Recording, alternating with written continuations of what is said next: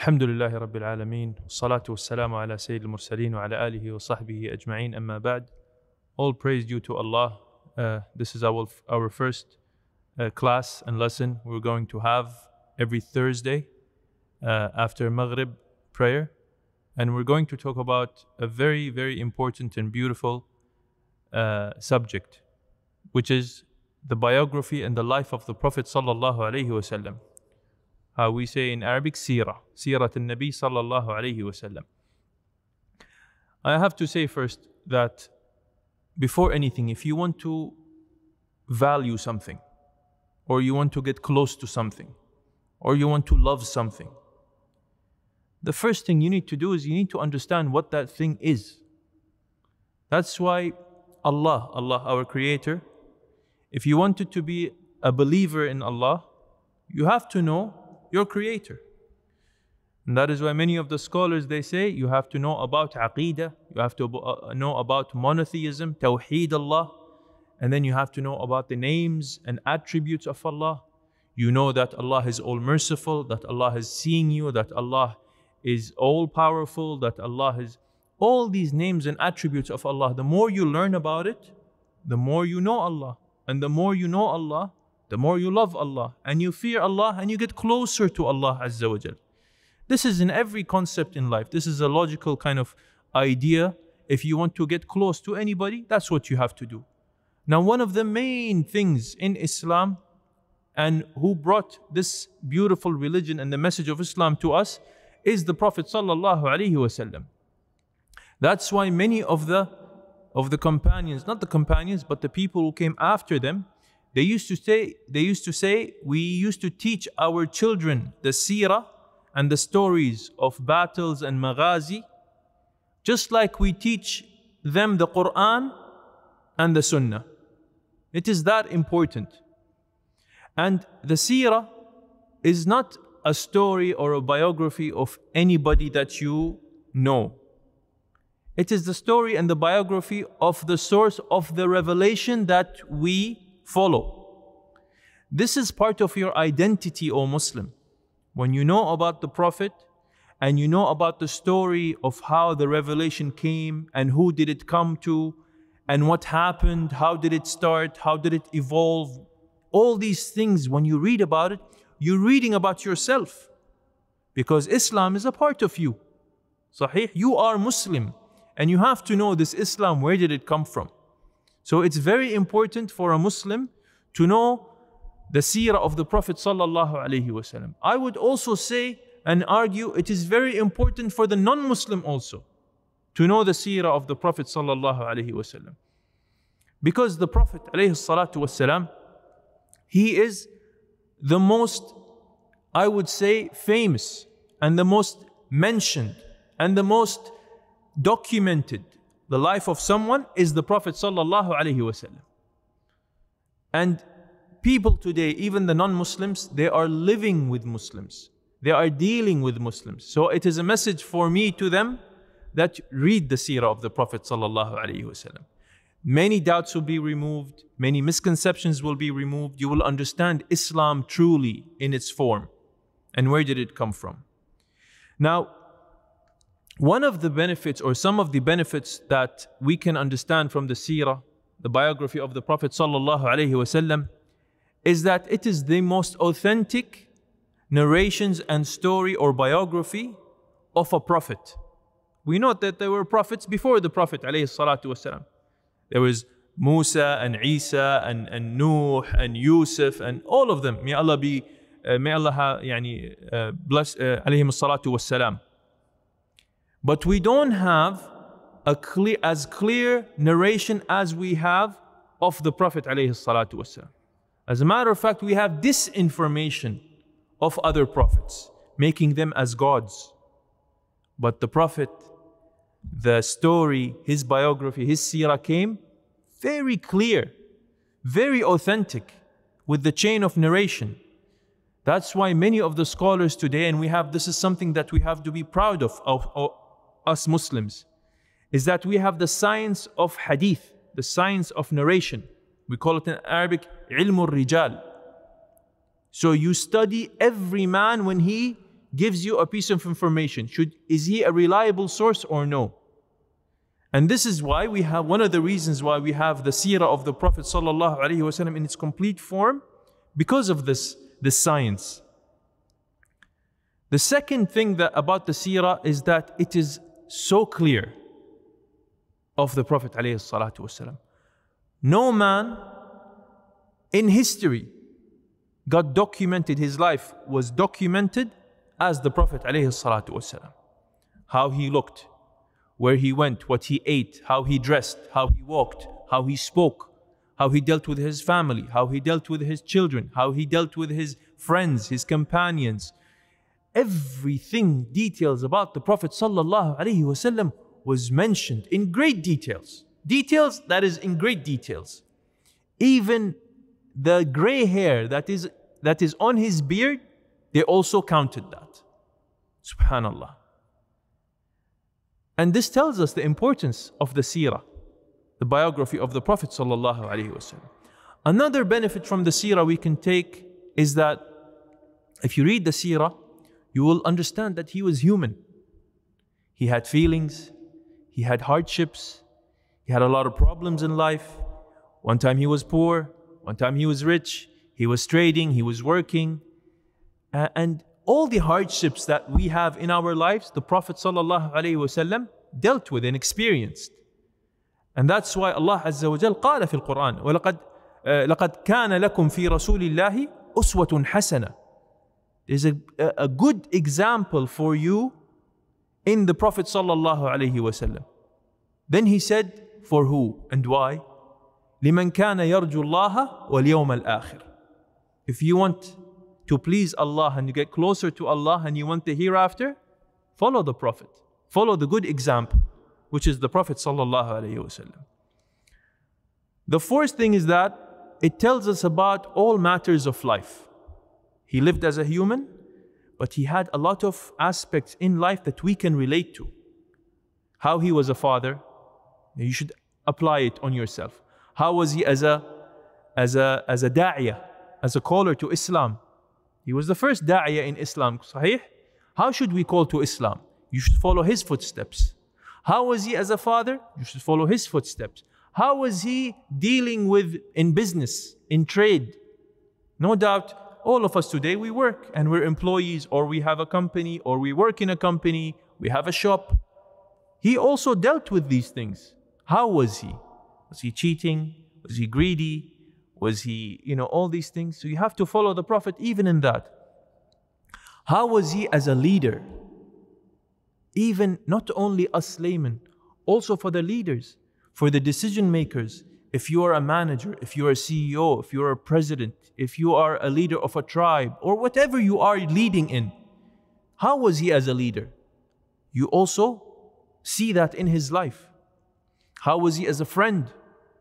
For his enemies, how was he? We, met, we all have enemies, sahih? How do you deal with your enemies? Are there rules? Are there ethics? Are there boundaries? You have to know this. The Prophet is the best of examples. He was the best of people and he came with the haqq and he came with the miracles. But subhanAllah, this is from the wisdom of Allah that even him, with all his great manners and great attributes and, and characteristics, he had enemies that are extremely evil. One of them was one of the, his uncles and his tribe's people. They, they hurt him, they insulted him, they tried to kill him, they accused him of many things. And how, do you, how, how did he deal with that? Last but not least, when you read the seerah, you will know that it is proof of his prophethood. And this deen is haqq. Because no man came what he came with and prevailed in such a way, and his message was spread all over the world like this. And he is followed until today. 1444, 45 years later, and his message is growing and growing and growing. I ask you, didn't we see in history and even today people claiming to be prophets? We see that in throughout history, people came and said, We are prophets of Allah and we have a message. The first thing is that they did not come with something that is truthful. Yani the Prophet والسلام, when you look at his message, did he come with something that is unnatural, uh, inaccurate, or unfair, or unjust? No. He, he came and told you, don't make me a God, and don't make anybody a God. You have one God and one Creator, worship Him. And don't cheat, and don't lie, and don't harm others, and don't harm yourself, and be good to people. Is that is there a problem with this message? No. He even told us not to be good not only to humans, to be good to your enemies. Not only that, he told us to be good with animals. He told us to be good also with objects, jamadat. Told us don't waste, don't waste, you know, uh, water. Don't waste anything that is your resources in life. Cherish them, value them, utilize them in the in the right way. His message was that. What was his message? Nothing else. So this by itself is proof that he wasn't a liar, he wasn't crazy, he wasn't uh, a munafiq, ma'adallah and dhalik. Because that's the accusations. You have to have like an elimination kind of uh, uh, approach to his message. If he came up with the message, so what is he not?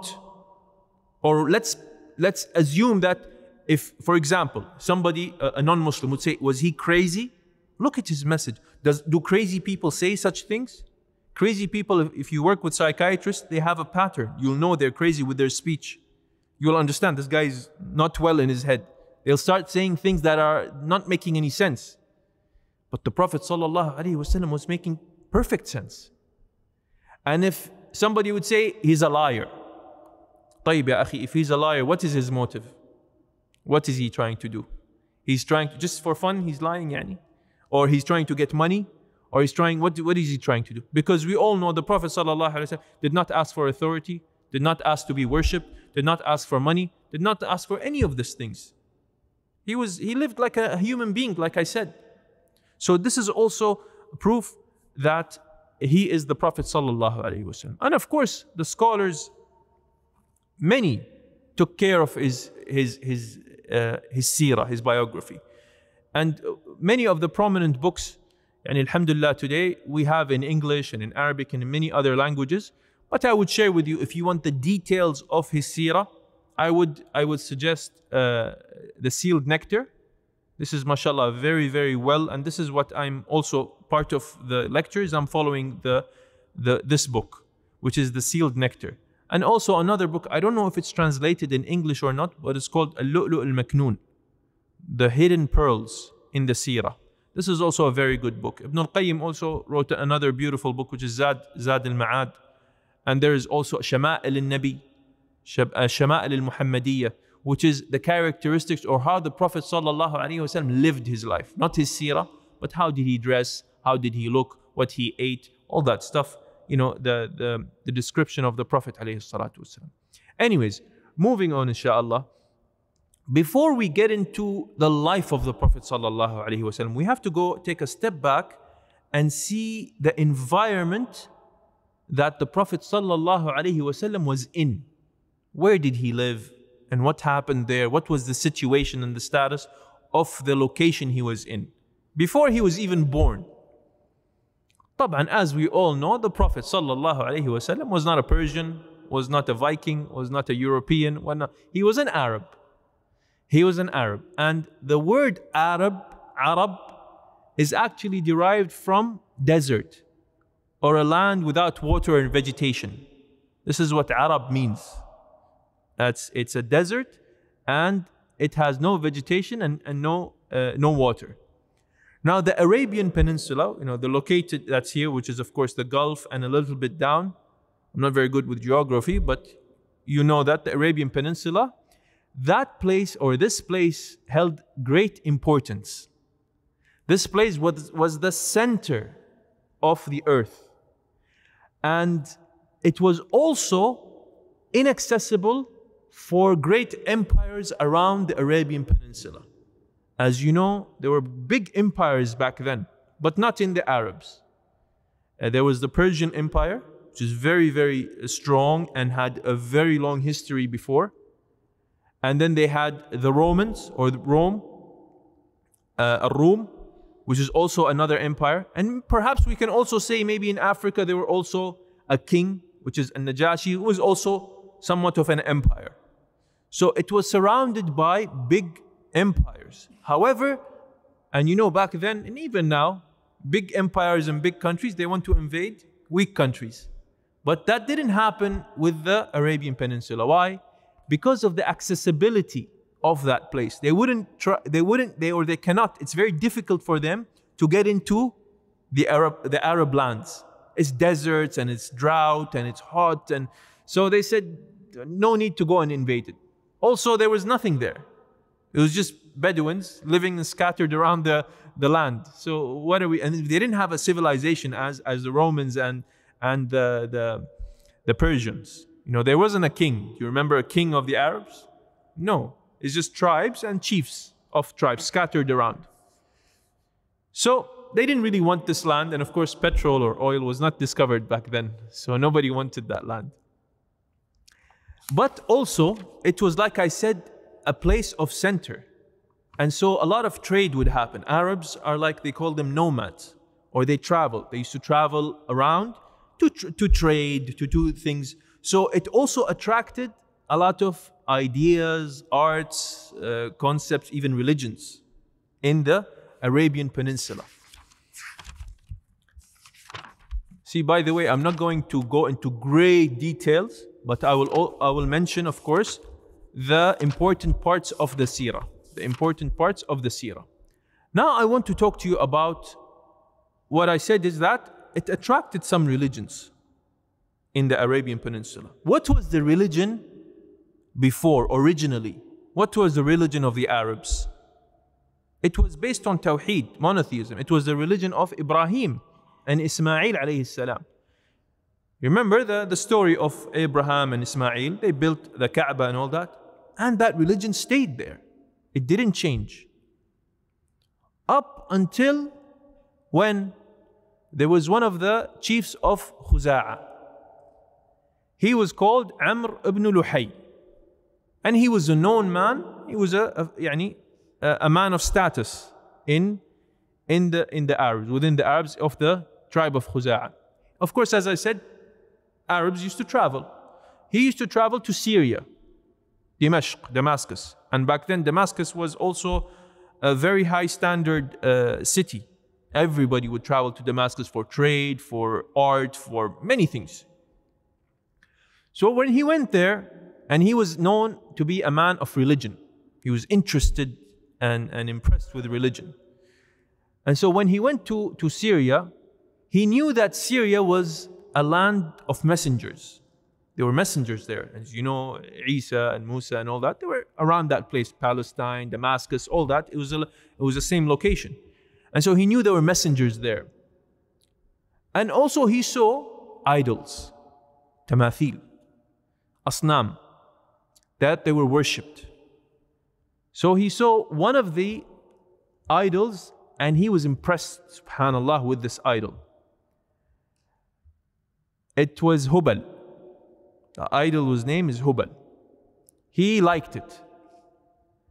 And so he bought this idol from Syria to the Kaaba, to Mecca. And he put it there, and he was a man of status. So people uh, looked up to him. So he brought this back. What is that? It is like a part of religion. He's telling them this is part of religion and they used to do it there. This is a land of messengers and I got it from there. So why don't we have it? Subhanallah. This is why we always say in Islam, uh, in ibadat, tawqif. You don't add anything else in Islam as, unless you have dalil from the Quran or the Sunnah because of this. So people don't add up new things in religion and then we go astray. So, uh, he went and he placed this Hubal in Kaaba and summoned the people to worship it. He didn't say, Come and worship it. But what did he say? He said, Hubal, this is a pious, it's a, it's a, um, uh, yani, a thing that reminds us of a pious person. And this pious person is close to Allah. So we have to seek barakah and call to Allah through this, this uh, idol. And then, of course, the Kaaba was filled with, as years progressed, the Kaaba was filled with idols, many idols. As a matter of fact, some of them were dug up in the Arabian Peninsula, and some of them were, uh, were taken from other places. And so the Kaaba got surrounded by 360, 360 idols. Imagine, when it was back on Tawheed, then it became a place of shirk and polytheism and worshipping other than Allah. طيب, some of the features of their worshipping of idols. How did they worship these idols? First of all, they seek refuge to these idols. Okay, they seek, they thought these idols can protect them because they are salihin, pious people. They were symbols of pious people. So they thought these idols would protect them. But they still believed Allah is one, huh? They believe Allah is the one and He created us. But they seek refuge through these people. They thought that they can protect them. Also performing pilgrimage to the idols. You know, pilgrims like Hajj. They used to do tawaf and uh, for Allah and for the idols at the same time. Also, they used to seek favors from these idols. And they used to sacrifice for them. They used to sacrifice for them. And as you know, sacrifice of animals is a ritual and it's an act of worship. So you don't do it for other than Allah. And they had devotion or they would give food and drinks and cattle to these idols. So they say, like, this food is for the sake of this idol. They give it to them. And today, even we see that, huh? Does it all ring a bell to you? Seeking refuge to other than Allah, sacrificing for other than Allah, giving food for other than Allah, sacrificing all that stuff, pilgrimage for other than Allah. This is still there, huh? In other religions, it's there and also in people who are very deviant from Islam, who call themselves Muslim, they do these things. Till today, huh? 1444 years before Islam, before Jahiliyyah times, as they call it, pre Islamic, it's still with us today. And this is why we say it is very important to repeat and repeat and repeat the matters of Tawheed. Because without Tawheed, then you don't have Islam. Even if you prayed every day, every night, you know, a thousand prayers. It doesn't matter if you don't have Tawheed. This is what Islam was built on. The fifth thing that you used to do with these, uh, these idols is that, that they do vows or oaths, nadhr. Is to do nadhr for this, uh, these idols. And of course, they dedicate some of the animals for them. They say this animal is for so and so idols. And they used to deal with Azlam. Azlam is kind of like gambling. And it is also something of pretending or claiming of the unseen. And today also I've seen this on social media, which is very, very weird. SubhanAllah, it's like the shaitan is still around. right? And it is true. Shaitan is still around. Because the same things that people are doing to, uh, you know, to violate their aqidah 1,444 years ago, it's the same thing we're doing today, or people are doing today. Meaning that who's, who's behind this? It's the same person the shaitan. Azlam is, they used to take arrows and they used to put three kinds of arrows. One would say uh, na'am or yes, another would say no, and another would be blank. And they used to throw it to decide something. Yani today, or I'm going to marry so and so woman. They used to do this azlam. They throw the arrow.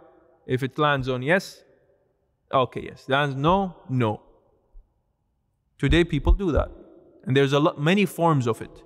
I've seen one on, uh, you know, uh, this uh, social media platform, TikTok. Yeah, you.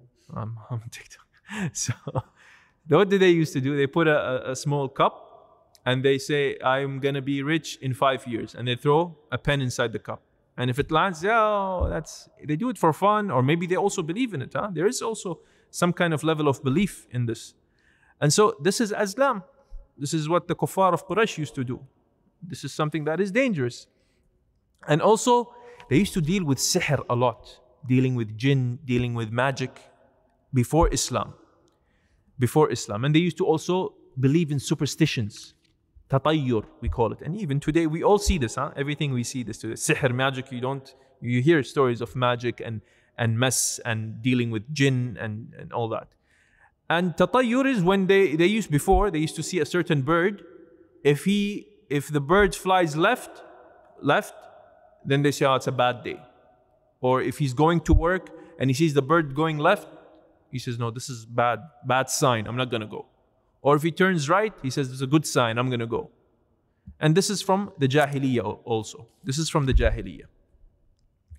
Now, let's talk about some of the bad things that the Arabs do aside from the shirk and the beliefs and all that. Arabs back then, before Islam, they were known for drinking alcohol. They drank so much alcohol. They used to even be proud of drinking alcohol and how much alcohol they drink.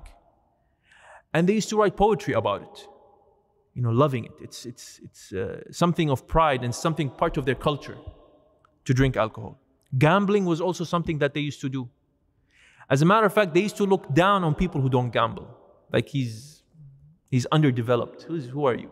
We are developed, we gamble. It was a good thing. And they also used to write poetry about gambling. They used to deal with riba. Arabs, the, the pagans of, of the Arabs and the Jews of the Arabs also used to de- deal with riba. A person would lend someone money, and if he cannot pay on the due date, he will tell him, okay, pay me after a certain after some time, a month or a year, but pay me more.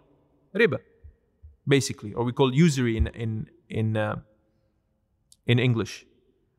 Another thing they used to do is it was prevalent in the Arabian culture or societies, zina, adultery. Adultery was something that is uh, prevalent there. The, the job of prostitution was all over the place. Not that it is something that everybody accepts, but it was there and it was widely spread.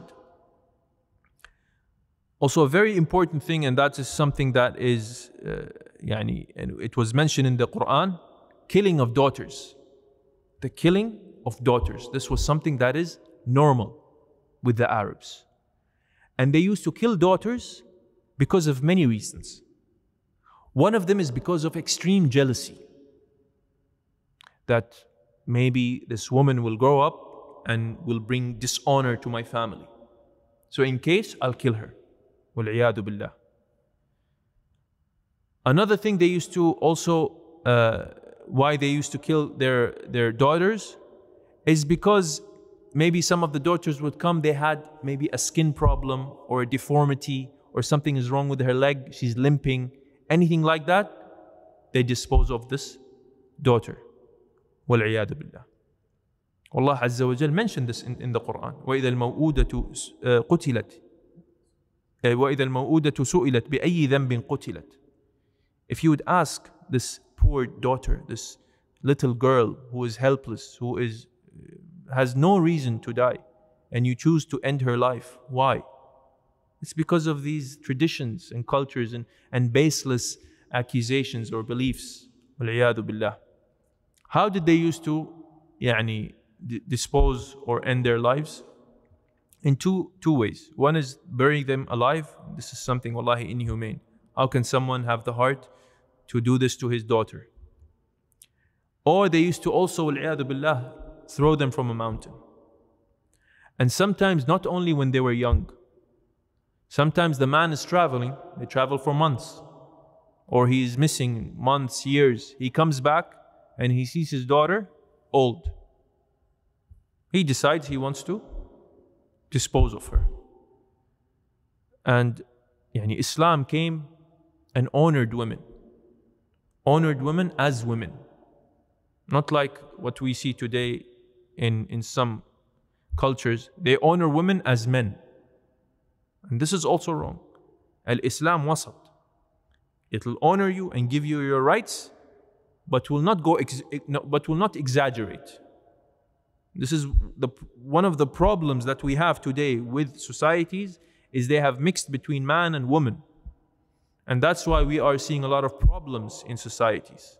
But Islam 1444 years ago gave us the clear instructions on how to deal with a man and a woman. Before Islam, it was a problem, and now because we left Islam, it's also becoming a problem. So these are some of the things that the Arabs would do. And also, with the Arabs, they used to have no limited wives. Marry 20, 30, 40 wives, no limit. Islam came and, of course, gave us a limit to how much we can marry. Also, part of marriage before Islam, pre Islam, the Arabs had four types of yani, relationships. The normal one that we know. Then they had one that they would uh, if there was an honorable man in the tribe or in society, and they want a child from the same lineage of that man, they would send their wives, a man would send their wives to that man to have an intimate relationship with her, and then, come, then she comes back to bear the child of that man, you know, a man of, of honor and sha'n in the tribe. They want the same lineage of that man. They used to also do that. And they think that that's perfectly fine for the Arabs back then. Another thing, of course, is, is the prostitution and all these adultery that would happen in, uh, in the Arabs. Okay, that's the bad part. They had some good things.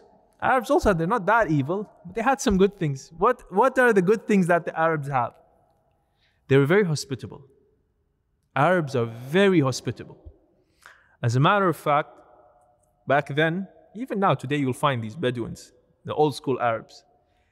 If a guest would come to them and they are poor, they don't have food for their children, and they have one maybe sheep, and the guests will come, they will slaughter that sheep for the, for the guest. They will not give their children. My child, let him die of hunger. The guest is more important. He will give everything for him. So this is one of the, the good things about Arabs. Alhamdulillah, we see this also. Today we can see this uh, among the Arabs. By the way, and this is not exclusive for Arabs, but Arabs were known for this. Were known to, to do this, hospitality. Also, keeping a promise. An Arab, if he keeps a promise, he will not break it even if it kills him.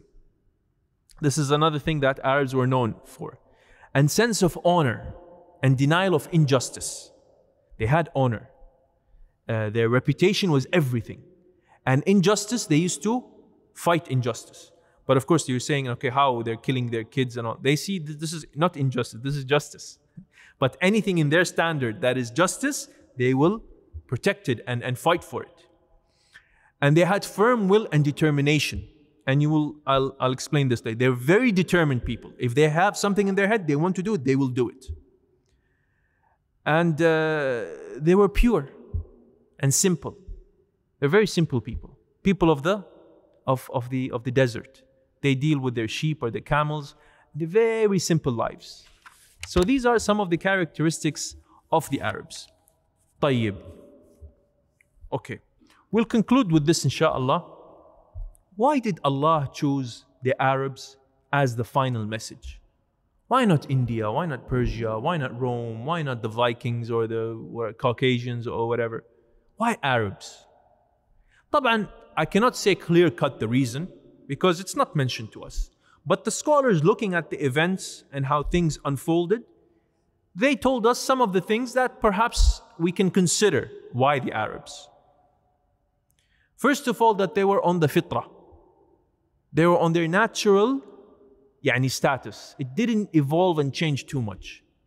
It's as Allah created them with you know in this in the in the desert dealing with with the sheep and the cattle and and all that.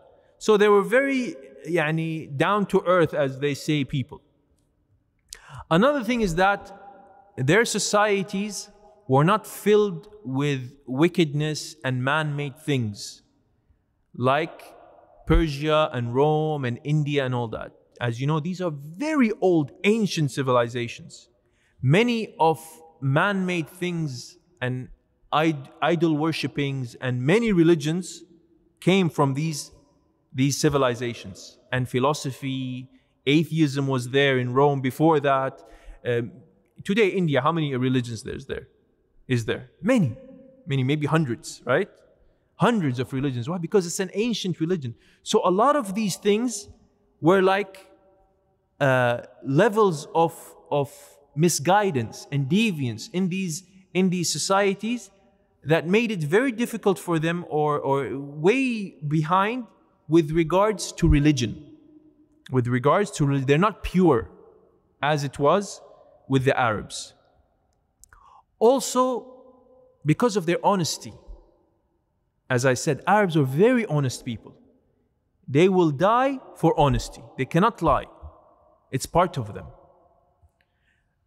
Also, materialism. Materialism, getting so much into life and the, the, the sweetness of this life and perishing and valuing your life too much. They weren't like that. They didn't care about life. Because, uh, you know, civilization and the development of civilization did not reach them. Other civilizations were so much progressed. They had money, they had, uh, you know, technology, they had poetry, they had philosophy, they had many things. So they loved life so much. And on top of that, all the wickedness and the philosophy and all that, you know, the, the things that would misguide them into with regards to religion was there. So it was, it wasn't the case with the Arabs. The Arabs were not materialistic. As I said, living in the desert. They didn't care about anything. Another thing is that they said they had a lot of great manners and, and honor. So they had a lot of honor, they had a lot of manners when it comes to dealing with one another. And they were fighters and survivors. They were ready to battle. This is one of the characteristics or the things that perhaps uh, Allah chose them to be carriers of this religion, to spread it to the world. And their status was worst with idols at that time. They reached the peak of kufr. There were people of honor, there were people of justice, there were people of honesty, but at that time when Islam was revealed, they reached the peak of deviance and kufr. And I would also add something else finally is that the Arabs were illiterate. They, didn't, they weren't a, a nation of writing.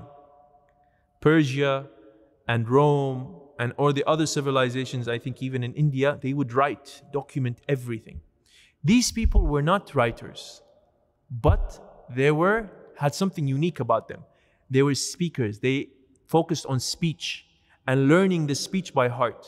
Memorization was something known of the Arabs. So they wouldn't write, everything would be stored in their chests or in their memorization.